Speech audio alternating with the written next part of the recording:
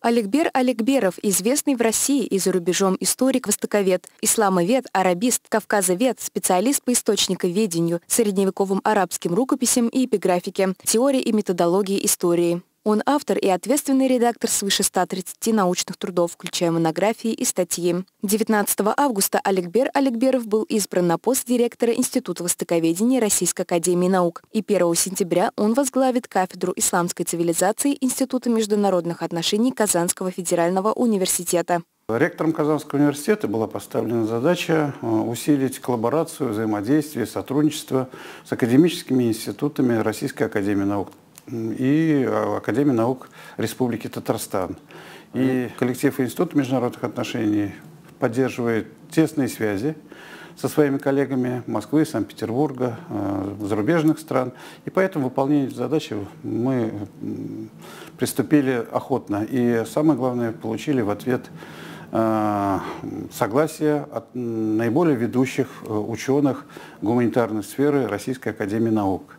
Согласие на сотрудничество изъявили академик Александр Чубарьян, член-корреспондент РАН Алексей Головнев и историк-востоковед Олегбер Олегберов. Один из самых первых партнеров – это Институт востоковедения РАН.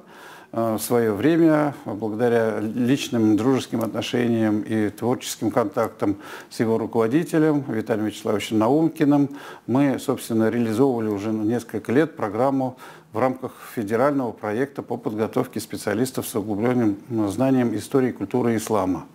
И э, Аликбер Колобекович был правой рукой Виталия Вячеславовича. Мы знакомы достаточно давно, и поэтому согласие Аликбера Колобековича мы получили. Он, он э, планирует, и э, очень надеемся, что все это исполнится. С 1 сентября приступает к обязанностям заведующего кафедрой.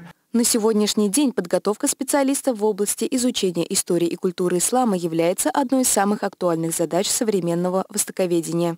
И кураторство Аликбера Аликберова принесет определенные результаты в выполнении данной задачи.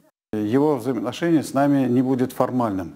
Он действительно планирует э, не просто приезжать, но и различными формами, или э, здесь, в Казани, или при помощи новых технологий, дистанционно. Он планирует вести работу по подготовке специалистов по профилю академическое исламоведение.